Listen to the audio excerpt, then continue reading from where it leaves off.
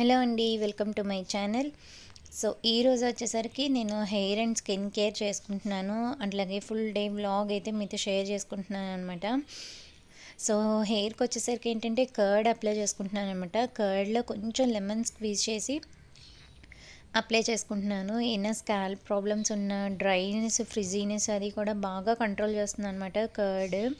So curd ఏంటంటే మన స్కాల్ప్కి చాలా అంటే చాలా కూలింగ్నెస్ అనేది ఇస్తుంది అనమాట సో అందుకని చెప్పేసి ఇందులో యాంటీ ఆక్సిడెంట్స్ అవి ఉంటాయి కదా స్కాల్ప్ ఇచ్చేనెస్ ఇవన్నీ కూడా తగ్గి మనకి ఏదైనా స్కాల్ప్లో ప్రాబ్లం ఉండి హెయిర్ గ్రోత్ అది ఎక్కువ లేకపోయినా అలా మనకి కొంచెం రిలీఫ్ రిలీఫ్ అనేది ఇస్తుంది అనమాట మనకి హెయిర్కి సో ఈ ప్యాక్ ఏంటంటే నేను ఎవ్రీ వీక్ వేసుకుంటాను అనమాట సో నేను బ్యూటీ టిప్స్ చెప్దాం అనుకుంటున్నానండి. సో నెక్స్ట్ నేను ఏంటంటే అప్లోడ్ చేసే ఎవ్రీ వ్లాగ్లో ఒక బ్యూటీ టిప్ అనేది మీతో షేర్ చేసుకుంటాను. సో నా ఛానల్ని ఎవరైనా కొత్తగా చూస్తున్నట్టయితే సబ్స్క్రైబ్ చేయండి. సో నెక్స్ట్ వచ్చేసరికి ఏంటంటే ఈ కర్డ్తోనే నేను ఫేస్ కూడా క్లెన్జప్ అది చేసుకుని ఫేస్ కూడా చాలా ఏంటంటే గ్లోయీగా కనిపిస్తుంది అనమాట సో మనం అప్పటికప్పుడు ఎక్కడికైనా వెళ్ళాలన్నా ఫంక్షన్స్ కానీ ఏదైనా ఇలా ఫైవ్ మినిట్స్లో మనం ఈజీగా చేసుకోగలిగేవన్నమాట ఇవన్నీ కూడాను.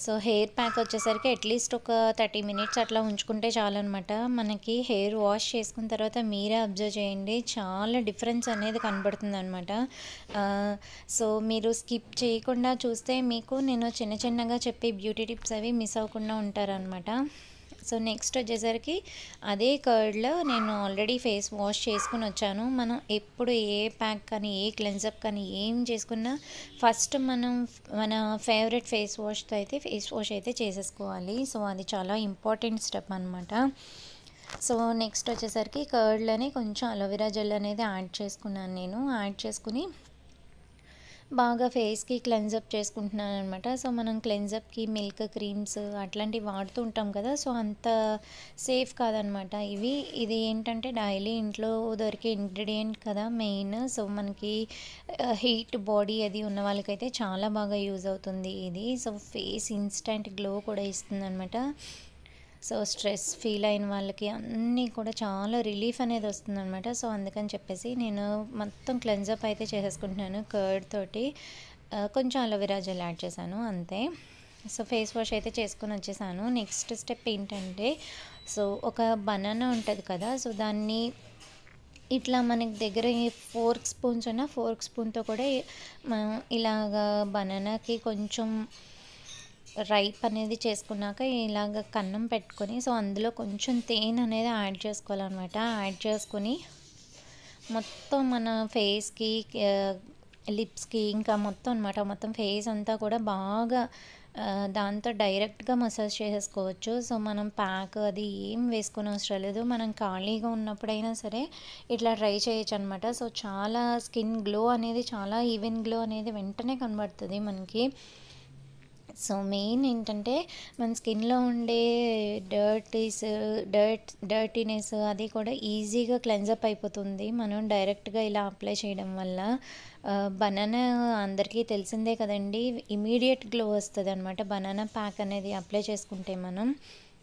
సో అన్ఈవెన్ స్కిన్ టోన్ ఉన్న వాళ్ళకి ఇది డైలీ అప్లై చేసుకున్న ఏం అవ్వదనమాట చాలా బాగుంటుంది. సో నేను అందుకే ఈ చిన్న బ్యూటీ టిప్స్ అవి యాడ్ చేద్దామని చెప్పేసి నేను కొత్తగా అయితే నేను నా ఛానల్లో నేను అనుకున్నాను అనమాట సో నెక్స్ట్ అయితే ఫేస్ వాష్ అది చేసేసుకున్నాను. నెక్స్ట్ హెడ్ బాత్ కూడా చేసేసాను. సో నా స్కిన్ నా హెయిర్ నాకు తెలుసు కదా చాలా ఫ్రీజీ హెయిర్ నాది. చాలా ఫ్రీజీ అనమాట ఇంకా. సో ఆ ఫ్రీజీనెస్ అది తగ్గించుకోవడానికి అని చెప్పేసి నేను అట్లీస్ట్ వీక్లో ట్వైస్ ఆర్ ట్రైస్ ట్రై చేద్దామని చెప్పి చేస్తున్నాను. సో ఆ పాక అలా చేసేసుకున్న తర్వాత కావాలనుకుంటే ఎవరైనా మీరు ఆవిరి పట్టుకొని జస్ట్ ఆవిరి పట్టేటప్పుడు ముందే కొంచెం క్రీమ్ అనేది అప్లై చేసుకోవచ్చు. ఏదైనా మాయిశ్చరైజర్ క్రీమ్. మాయిశ్చరైజర్ క్రీమ్ పట్ రాసుకుని ఆవిరి పట్టినా కూడా చాలా బాగుంటుంది. సో నాకు ఇంకా అంత టైం లేక జస్ట్ నేను మాయిశ్చరైజర్ అయితే అప్లై చేసుకుంటున్నాను అంతే. సో మాయిశ్చరైజర్ అప్లై చేశాక చూసారు కదా నా స్కిన్ ఎంత గ్లో వచ్చిందో. ఇంకా ఏంటంటే పిల్లలకి అది టిఫిన్ పెట్టేస్తున్నాను అనమాట సో అప్పటికే టెన్ అయిపోయింది కదా. సండే అంటేనే ఇంకా లేట్ అయిపోతుంది. సో అందుకని చెప్పేసి ముందు రోజు బీచ్కి వెళ్ళాము ఈ- రోజు ఏమో సాటర్డే సండే కూడా హాలిడేస్ అనమాట సెకండ్ సాటర్డే సండే మా బాబుకి అందుకని చెప్పేసి సో నెక్స్ట్ వచ్చేసి ఇంకా వీడికి ఎగ్జామ్స్ అనమాట సో అందుకని చెప్పేసి స్పెల్లింగ్స్ అవి ప్రిపేర్ అవుతున్నాడు. సో అది కూడా ఏంటంటే దట్టు ఇప్పటిదాకా చాలా ఆన్లైన్ ఎగ్జామ్స్ కదా. ఇప్పుడు ఆఫ్లైన్ ఎగ్జామ్ సో దానికోసం చెప్పి భయపడి ఇంకా వాడు అలా కూర్చుని చదువుతున్నాడు అనమాట సో మరీ ఎక్కువ రెస్ట్రిక్ట్ చేసేయకూడదు మరీ వదిలేయకూడదు పిల్లల్ని. లెట్ దెమ్ వాళ్ళకు కూడా వాళ్ళ ఫీలింగ్స్ బయట పెట్టేలా చేయాలి మనం. ఏంటంటే ఓన్లీ మన ఇష్టాలు మన ఇదిలే వాళ్ళ మీద రుద్దేయకూడదు అనమాట సో వాళ్ళ ఒపీనియన్ ఏంటో కూడా మనం తెలుసుకుని మనం వాళ్ళ ఒపీనియన్ కూడా గౌరవం ఇస్తే సో వాళ్ళు కూడా మనకి కొంచెం రెస్పెక్ట్ఫుల్గా రి ఇదిగా రియాక్ట్ అవుతూ ఉంటారు అనమాట సో వీడిని వచ్చేసి ఇక్కడ పడుకోబెడుతున్నాను అనమాట పాపం కొంచెం జలుబుగా ఉంది క్లైమేట్ బాగాలేదు కదా అందుకని. సో ఇంక వాళ్ళిద్దరిని అలా అక్కడ ఉంచి నేనైతే కిచెన్లోకి వచ్చేసాను కుకింగ్ చేయాలి కదా. సండే అయినా ఫండే అయినా సాటర్డే అయినా ఏ డే అయినా కుకింగ్ అనేది తప్పని పని కదా. సో ఆడవాళ్ళకి ఆడవాళ్ళకి ఆడవాళ్ళకి ఆదివారం సెలవు సోమ అలా ఏం ఉండదు కదా. మన కడుపుకి ఏం హాలిడే ఉండదు కదా. సో అందుకని చెప్పేసి కుకింగ్ అయితే స్టార్ట్ చేసేసాను. సో అక్కడ వాడికి స్పెల్లింగ్స్ అవి ఇచ్చాను వాడు రాసుకుంటున్నాడు. వాడేమో ఇంకా పడుకోలేదనమాట కాసేపు అలాగా రొంపకి ఇంకా ఒళ్ళోనే ఉండాలని అలా ఏడుస్తున్నాడు అనమాట సో కాసేపు ఎత్తుకుని కాసేపు దింపి అట్లా అలా ఇలా తిరుగుతూ వంట చేస్తాను ఫైనల్కి. కిచెన్లోకి అయితే వచ్చి స్టార్ట్ చేశాను అనమాట సో దసకాయ పప్పు అండ్ దొండకాయ ఫ్రై రెండు చేస్తున్నాను. మా హస్బెండ్ వచ్చేసి ఆఫీస్కి వెళ్ళిపోయారు. ఓన్లీ మాకే అనమాట మా అత్తయ్య మాయ నేను పిల్లలు. సో అందుకని చెప్పి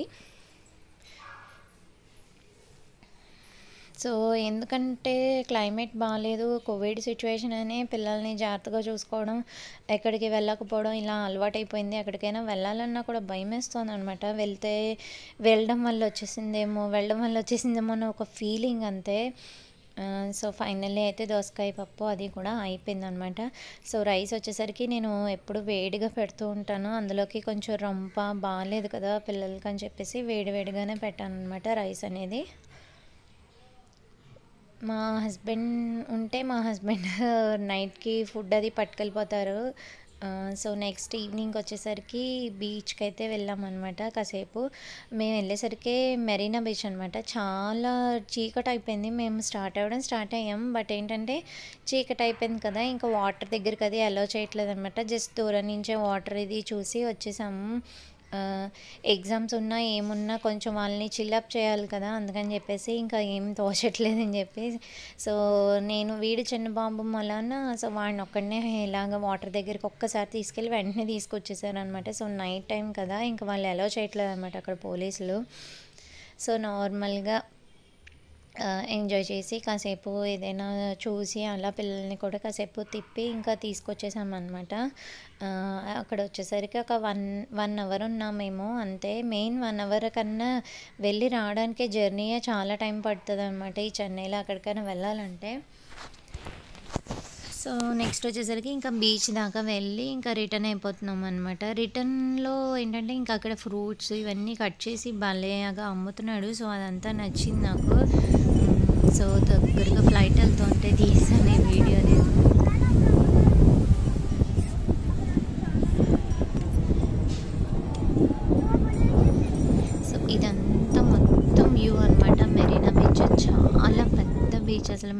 డిస్టెన్స్లోనే రాలేదు. ఎక్కడో టూ త్రీ కిలోమీటర్స్ వెనకాల పార్క్ చేసుకుని వచ్చామన్నమాట. సో మొత్తం అంతా ఎంట్రన్స్ ఎటు నుంచైనా ఉంటుంది అందుకని చెప్పేసి. సో ఇక్కడైతే బెలూన్ షూట్ ఇవన్నీ ఉన్నాయి. సో సరదాగా కాసేపు ఈ బెలూన్ షూట్ అవి ఆడించాను. మా బా మా హస్బెండ్ కూడా ఆడారు. ఏంటంటే ఎక్కడికైనా వెళ్తే ముందర మనం చెయ్యి వదిలేస్తేనే టెన్షన్ నాకు పిల్లలతో. సో అందుకని చెప్పేసి బట్ అలానే ఫ్రీగానే వదిలేయాలని ఉంటుంది. బట్ మనం ప్లేస్ కాని చోట ప్లేస్లో పిల్లల్ని అలా వదిలేయలేం కదా. సో బెలూన్ ఇక్కడ బెలూన్ చోట ఫస్ట్ అయితే నేను ఆడదాం అనుకున్నాను. బట్ వాడు ఓకే పిల్లల కన్నా ఏముందిలే ఫస్ట్ వాడు ఆడాడు. సో వాడికి ఇంకా రావట్లేదని మా హస్బెండ్ షూట్ చేశారు అనమాట సో ఆయన అయితే చాలా బాగా షూట్ చేస్తారు. సో అందుకని ఆయన షూట్ చేశారు. అక్కడ ఆమె అసలు ఎంత ఎంత రాడ్గా ఉందో ఆమె అసలు అంత మనమైతే అసలు ఆడవాళ్ళు ఎంత సున్నితంగా ఉంటామో ఆవిడ అన్నీ చాలా ఇంక వాళ్ళకి అలా రఫ్గా అలవాటు అయిపోతుందేమో మేబీ సో ఎవ్రీ బుల్లెట్ ఆమె ఫిక్స్ చేసింది అనమాట సో మేము సరదాగా వేసాము. సో నాకు ఇస్తాను ఇస్తాము అన్నారు. సో ఈ లోపు నాకు నా దగ్గర దాకా వచ్చేసరికి బుల్లెట్స్ అయిపోయాయి అనమాట సో ఎందుకని చెప్పేసి ఇంకా ఓకే అని వదిలేసాను. సో నెక్స్ట్ వచ్చేసి ఇక్కడ ఒక గిఫ్ట్ కొన్నారనమాట మా హస్బెండ్ సో ఆయనకి జనరల్గా ఏమీ నచ్చవు. సో అక్కడ లవ్ సింబల్లో లైట్ వెలుగుతోంది కదా లెడ్ది సో అదైతే తీసుకున్నారు. జస్ట్ ఎయిటీ రూపీస్ అంతే. సో అక్కడ కాస్ట్ కాదనమాట సో ఇచ్చే మనిషి ఇంపార్టెంట్ ఇచ్చే మనిషి యొక్క వాల్యూ ఇంపార్టెంట్ సో నాకు అది కాస్ట్లీ ఆ నార్మల్ గిఫ్ట్ అనిపించలేదు. బట్ నాకు ఆ గిఫ్ట్ చూసరికి చాలా బాగా నచ్చేసింది అసలే. Cost okay cost okay but చూస్తున్నారు కదా అదే అనమాట లవ్ సింబల్ది ఇంకా అలా అయిపోయిన తర్వాత ఇంకా అక్కడ స్వీట్ కార్న్ తిందామని చెప్పేసి అక్కడ అయితే కూర్చున్నాం కాసేపు. సో చాలాసేపు ఎంజాయ్ చేసినట్టే అనిపించింది కానీ చాలా ఎండాకాలం అయితే వచ్చేసిందండి. చాలా స్వెట్టింగ్ అది పట్టింది. బట్ బీచ్కి వెళ్ళినా కూడా అంత ఏం అనిపించలేదు అనమాట చల్లగాను. సో ఇంకా అలా కాసేపు స్వీట్ కార్న్ తిని సో అక్కడ వాడికి ఏంటంటే శాండ్ క్యాస్టిల్ది ఆడుకుంటారు కదా పిల్లలు సో అది కొన్నాం అనమాట ఇక్కడ మేము ఇది తింటుంటే వాడు అక్కడే ఓపెన్ చేసేసి ఈ లోపు ఆ శాండ్ క్యాస్టిల్లో ఆడుకుందామని చెప్పేసి అక్కడ ఆడుకుంటున్నాడు. సో అది సరదాగా కాసేపు వీడియో తీసాను అనమాట ఎప్పటి నుంచో అడుగుతున్నాడు ఇలాంటిది కొనమని శాండ్ క్యాస్టిల్ కావాలి నాకు కావాలని. ఓకే అని చెప్పేసి సో మేము ఇవన్నీ బయట తింటాం కానీ సో వాడికైతే పట్టకూడదు కదా అందుకని చెప్పేసి ఇంకా మళ్ళీ ఏదైనా బిస్కెట్స్ కానీ ఏవైనా స్నాక్స్ కానీ ఉంచుకుంటూ ఉంటాం అనమాట ఎక్కడికైనా వెళ్ళినప్పుడు అట్లాగా. సో ఫస్ట్ మనం వాళ్ళు అన్నది చేసేస్తే వాళ్ళు హ్యాపీ ఫీల్ అయిపోతారు. సో నెక్స్ట్ అప్పుడు మనం ఏమనుకుంటున్నామో వాళ్ళకి ట్రైన్ చేయొచ్చు నాకు నాకు అనిపిస్తూ ఉంటుంది. సో ఫస్ట్ ఆడతా అన్నాడు ఓకే ఆడుకో అన్నాను. ఇంకా నెక్స్ట్ అన్నాడు అమ్మ ఇక్కడ అంత బాగాలేదు ఇంటికి వెళ్ళాక ఆడుకుందాం అమ్మ అన్నాడు. ఓకే. అంటే లెడ్దాం వాళ్ళకి తెలుసుకోవాలన్నమాట. ఓకే మనం చెప్పిన దానికి వాళ్ళ మైండ్ యాక్సెప్ట్ చేసేది కదా వెంటనే పిల్లల్ని. ఓకే నెమ్మది నెమ్మదిగా తెలుసుకుంటూ ఉంటారు. వాళ్ళకి ఏజ్ ఉంది. వాళ్ళ ఏజ్ వచ్చేసరికి వాళ్ళకే అన్నీ తెలిసొస్తూ ఉంటాయి. సో అందుకని చెప్పేసి ఫ్రీగా వదిలేస్తే కాసేపు అట్లా ఆడుకున్నాడు అనమాట అక్కడ. సో అక్కడ ఏంటంటే వాళ్ళు చిన్న చిన్న షేప్స్ అవి ఇచ్చారు. సో అలాగా చిన్న బకెట్ లాంటిది ఇచ్చాడు. సో ఇది ఇలా సెట్ కలిపి సెవెంటీ ఆర్ ఎయిటీ రూపీస్ అనుకుంటాను మేబీ సో అది అలాగ ఒక టెన్ మినిట్స్ అక్కడ అట్లా ఆడుకున్నాడు. సో నెక్స్ట్ రిటర్న్ అయిపోయామన్నమాట. రిటర్న్లో ట్రాఫిక్ ఉంది. అమ్మ బాబోయ్. చాలా ట్రాఫిక్ ఉందండి. అసలు ఇంటికి వెళ్ళేసరికి ఒక వన్ అవర్ పట్టేసింది అనుకుంటా. మేము రావడం ఫార్టీ మినిట్స్ అట్లా ఫార్టీ మినిట్స్లో వచ్చేసాం. బట్ రిటర్న్ అయితే వన్ అవర్ అలా పట్టేసింది. సో ఇదే నాకు ఇచ్చిన గిఫ్ట్ అనమాట సో చూడగానే మా హస్బెండ్కి నచ్చిందట. అందుకని కొన్నారు. సో లైట్ ఇలా లెడ్ లైట్ వెలుగుతూ ఉంటుంది. సో ఇట్లాంటివి బెలూన్స్ కూడా ఉన్నాయన్నమాట. ఇదివరకు ఆల్రెడీ తీసుకుని వాటిని పాడేసేయడం అంతా అయ్యింది సో అందుకని చెప్పి అయినా బెలూన్స్ ఇట్లేవు.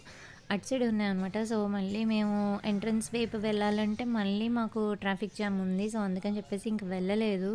సో నెక్స్ట్ టైం వెళ్ళినప్పుడు బెలూన్స్ అవి ఏదైనా కావాలన్నా తీసుకుందామని చెప్పేసి. సో ఇంకైతే రిటర్న్ అయిపోయింది నైట్ వ్యూ చూసారు కదా ఈ మధ్యలో ఒక గుడి ఉంది. చాలా మూవీస్కి అని కూడా షూటింగ్స్ అవి జరుగుతూ ఉంటాయంట నైట్ వ్యూ అయితే నైట్ వ్యూ చాలా బాగా ఇదంతా కూడా మెరైనా బీచ్ అసలు పార్కింగ్ అవి బెలూన్స్ అక్కడ అవును ఇది వరకు కొన్నాం కదా నీకు పార్కింగ్ చేసుకోవడానికి ఎంత పార్కింగ్ సేమ్ నీతో పాటు ట్రైన్లో ఇద్దరు ట్విన్స్ ఎక్కి ఒకళ్ళు ట్విన్స్ కూడా ఎక్కినట్టు ఇద్దరు చాలా హెవీ రష్ మళ్ళీ ఇంటికి వెళ్ళి షూటింగ్ చేయాలి అని చెప్పి చాలా అలసటగా అనిపించింది అప్పటికే అదేంటో తెలియదండి ఏదో అలసటగా అనిపిస్తూ ఉంటుంది. బట్ ఇంటికి వెళ్ళి కొంచెం రిఫ్రెష్ అయ్యి మళ్ళీ పనులు స్టార్ట్ చేసుకుంటాం